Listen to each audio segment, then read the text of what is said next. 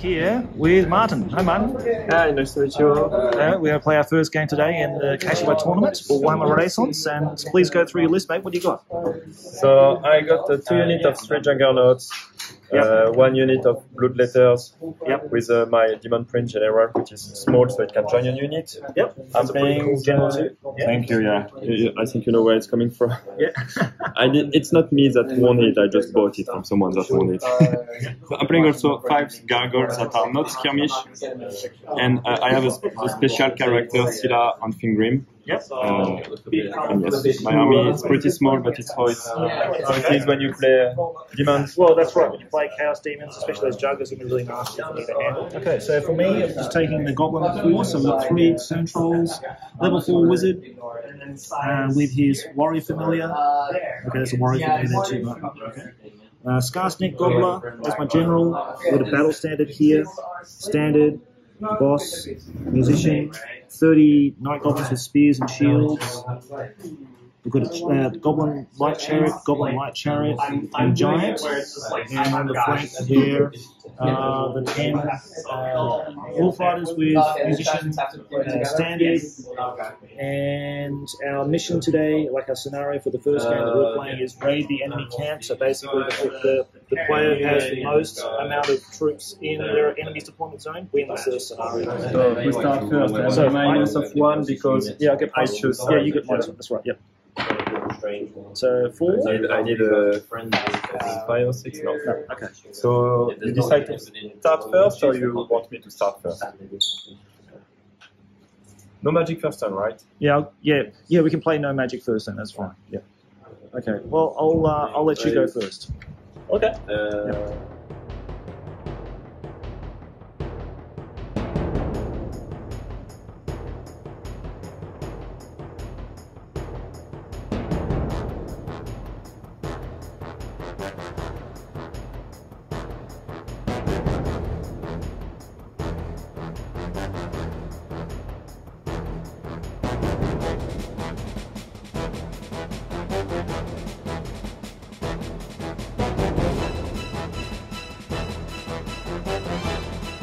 we're just going to do like a post round. So we just finished our movements for both and did our turns basically. So this is the end of the first first uh, first round, first turn. Yeah, that's a great. Uh, so Martin uh, moved all these units up to here, and then in my turn I moved my Night Goblin up, releasing the, the Fanatics. He rolled a three, terrible. I think he rolled a seven and a nine for them. So basically, it's going to stop him from. I think he, I think we were just discussing before. I think Martin has to charge the frenzy against them in a moment in his turn. Uh, the, the the wolf chariot just spun on its side to make a counter charge. The giants over here just to protect this side of the flank. The chariots over here as well. Moved nine inches. They moved up 18 inches on that side there. And no magic for turn one. That's part of the tournament rules. And now we'll go to turn two. So we're just going to do it turn by turn. So then Martin just played his turn, and we just finished the magic phase. So Martin, what happened, mate, in this turn? So what happened? First, I had to declare a cha- uh, charge because I'm frenzy with my demon friends, and I have to go through his fanatic. He killed me uh, three bloodletter during that. Yeah. there is that turn. Then I was able to charge his troll, and I made nine moods, but he was able, able to regenerate six wounds out of those three. Yes, So, beautiful. Love it. then I was able to charge it chariot, which failed its fear test, so it, fa- it has to flee, Flee away, and uh, me I have to char- to stop my charge in the middle of it. Yep. Then my Scyla was able to charge through two fanatics, Yep. and he issued a challenge to me where I killed his uh, Little Weasley main boss. champion, a boss, small boss. But because I'm uh, unbreakable, uh, his Yeah. unit is stuck, and I'm still I'm still here. Then during the magic phase, I decided to use my item magic uh, destroyer of spell, and I destroyed his Hand of Gork. Yes. Is that a special scroll? He can't use it anymore during that party. And then, because he attacked me with his Prowler, which is a magic item, it's a bounce spell. And he decided to target with Carnix my Scyla. The uh, like the Collar of Khorne, is it? yeah the rule the specific rule of Scyla is like if it successfully Yeah. save a spell uh, on a, a Yeah, dispel a spell on a four plus. plus, Yeah. the spell is destroyed. Yeah. So his brawler is not destroyed. So we, we're thinking the product now is just useless. It's just a regular product. yeah. Uh, no ma- no bound magic in it. But Then- then, he had another bound magic item. I'm full of tricks here. Yeah, with that uh, Chaman Goblin. Yep. And he did very average roll, and he was able to kill three more uh, Blood Yeah. By targeting it. What was that uh, bound spell? It's called a, the Doomfire Ring. So it has three uses, 2d6 strength, four hits, and I rolled seven hits but only wounded three guys. And so three guys died, and Yeah, be- because I am. It's a magic attack, and as a demon, I have no save versus it. Yeah, so it's fine. it. Okay, so that was end of Martin's turn, and we're going to my turn too.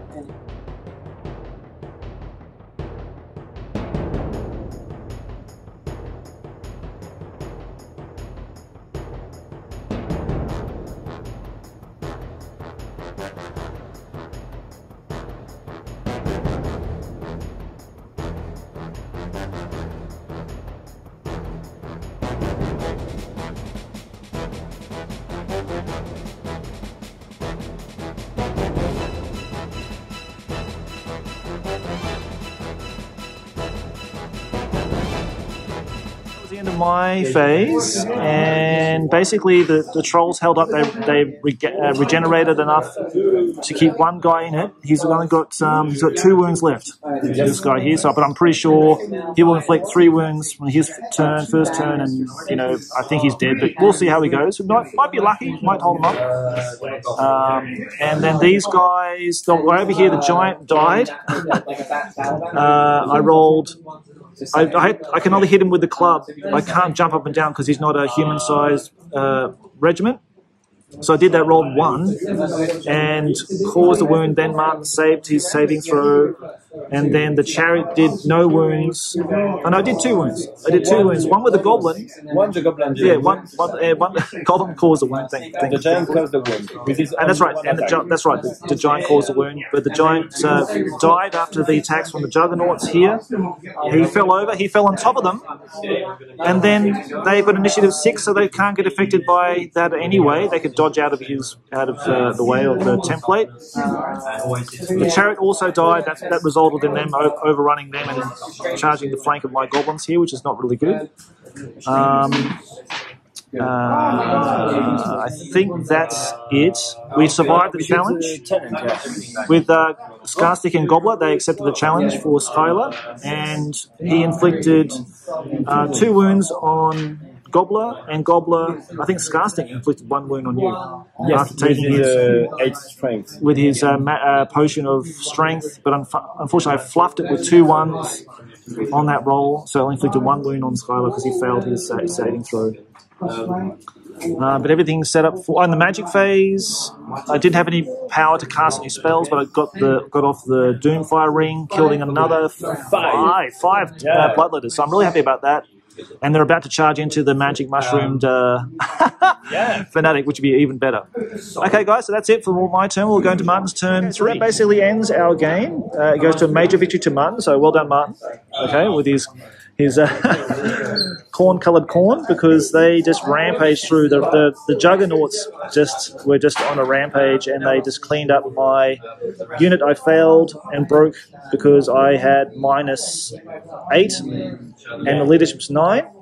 So, but Martin allowed me to do the double one snake eyes if I got it, but I didn't. So they fled. They caught up with me. They destroyed me, and I think I would have been destroyed here because I would have fled back into them as well anyway. So, either case, but uh, Gobbla put two wounds on him, so only one wound left. It's Scyla, and I was happy about that. We didn't get to see the the the, uh, the golden demon enter combat, which is a shame. Uh, and there's some there's some, yeah there's some rule queries about that as to how that happens, but at least in the magic phase, the Doom Bolt, uh, Doom Doom what's it called Doom Fire Ring, managed to kill another Five. Heap of those guys and just just and, uh, then that's the right. fanatic Then the fanatic. That's right. The the magic uh, mushroom guy cleaned them all up. I think about nine wounds on them or something like that. So that was nice. That was quite satisfying. But overall, it's really fun. But then you know Martin would score one, two, three with those against my one over there. So it's a major victory. So, so congratulations, Martin, and good luck with your second game, mate. Seven, two. You have to be totally original to get So we're going to write it. Go for it, mate. Go for it. Not go away. Go for it. go for it. okay, so I have a very poorly painted army. I have some Hobgoblin Wolf Riders over here, five Hobgoblin Wolf Riders. Then here we have 20 Hobgoblin Archers, and then 19 Chaos Dwarf Blunderbusses, plus our General, who is a level 3 Sorcerer with his Familiar. Then over here, another five Wolf, Ra- Wolf Riders. Then some Goblin, uh, Orc slaves rather, with a Chaos Dwarf hero, bare chested, and then over here, 10 Hobgoblin Wolf Riders, and an Earthshaker cannon on the hill there. Okay. Nice, mate. Okay, that's How good. about you, Josh? What have you got? Let's see. The- Okay, Here's so- what I made earlier.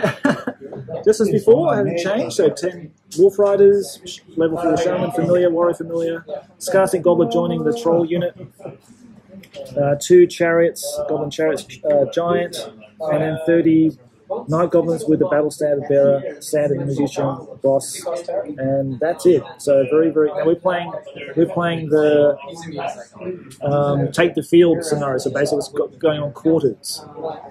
So uh, looks like Nick is primed to take the scenario. We've got to move, move, move. I'll get my magic to do something better to stop him or kill him or whatever. So see how we go. We'll see about that.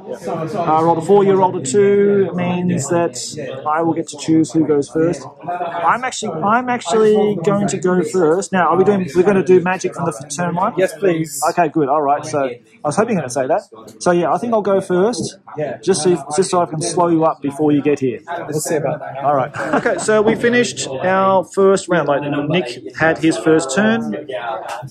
Sorry, I, I had my first turn. I moved my my chariots up, my trolls up, my giant. They stayed where they were. Everyone passed their wire tests.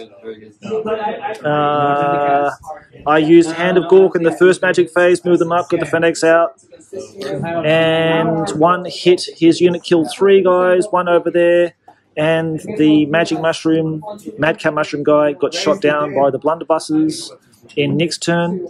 Nick's movement was that he marched his wolves over here because he can he can uh, disregard infantry with his cavalry, with and he moved his other wolf unit over there. Now they're actually hobgoblins on there, aren't they? That's right, Hobgoblin. They're invisi- invisible hobgoblins. Oh my god, They're painted in clear coat. And then uh, that, and then magic phase. I went to cast Hand of Gork. Uh, Nick uh, then used Drain Magic, and that ended the magic phase. So nothing to note there. So then we go to uh, my turn two.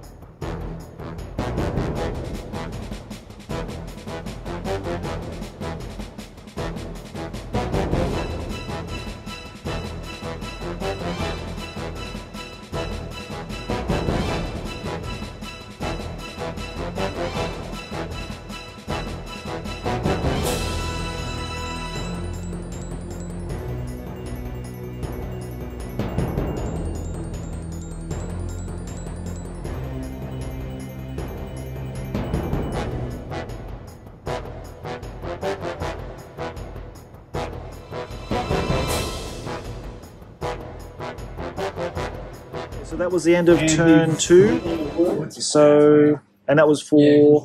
Was that your turn two, wasn't it? Yes, it was. Yes, yes. Yeah, India, that, that was the f- complete turn two. So, no hand to hand combat to speak of. We've had some magic duels back and fro. Now I've got Skarsnik with this um, Sorcerer's Curse, which is quite a nasty one. 2d6 under his strength until I can dis- uh, dispel it. So that can be there's going to be something I need to contend with. I need to get my wizard. It's a big mistake I made having my my shaman not within twelve of anything. So I decided not to do any spells, not to take a magic mushroom. Just keeps magic mushroom, uses his um, his uh, ring of uh, Doomfire ring, but then he dispelled it again. So Nick's been really good with dispelling. It's been fantastic. He's dispelled every single Protter shot that I've had with that bound item as well.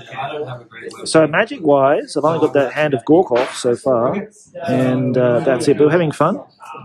And he's got his wolves down here now, which I need to maybe just. I should have shot them with that actually. The Doomfire ring might be a good one for the next one, just to get him out of my my deployment zone here, out of that zone. Uh, but it looks pretty much set up for my turn three to make some charges and make things happen. Might have to charge these guys here with these goblins here and the trolls are still going to be out of range unless I unless I um I need to do it in my turn, take him out, and then charge him next turn. I don't know. See how we go. The giant will be in range anyway, so we'll make things happen there. All right, guys, that's it for turn two. We're going to turn three. So that's the end of round three for both of us. And I think the biggest, the, the highlights was that Nick used eruption and destroyed my stone stone trolls in one foul sweep with total power. Then he had ta- total power again because we had to reshuffle the deck, the bastard. Then he killed both of my chariots because they don't get a save against eruption, destroying those both. Though both, so they're gone. Yeah, so it was pretty wicked. Um, he came down here. He he had a. Um, uh, animosity with them. They couldn't move. My shaman is not within 12 or anything. He's run out of mushroom, magic mushrooms. And his Doomfire ring got dispelled, so that was the third charge. That's him just dispelling stuff now when he can. Uh, so Nick's pretty much got this quarter, Is it surgery or uh, unless I'm in it, unless he's gone too far in, which would be great.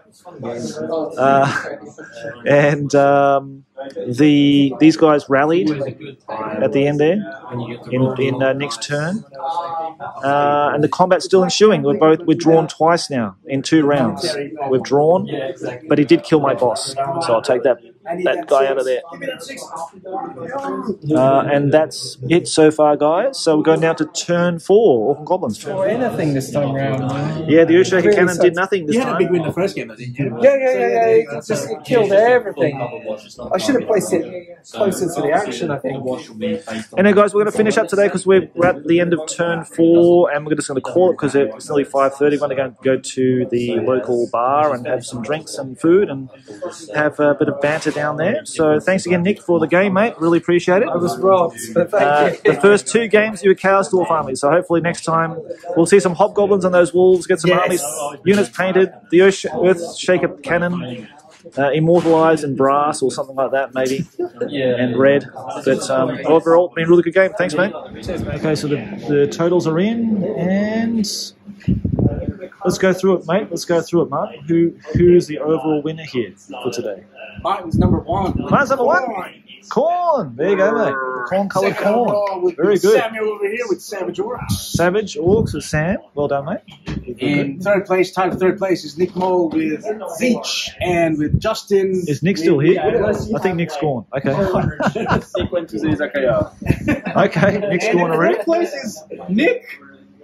Fourth overall. Nick. The second time we played is Chaos Dwarfs, so well done, Nick. game ever. Awesome. Well, unfortunately, there's no prizes. I'm sorry. Next time, hopefully, we'll have some other prize support. But uh, but anyhow, guys, thanks very much for coming. Let's go and get a get a beer and everything and, and celebrate. Okay.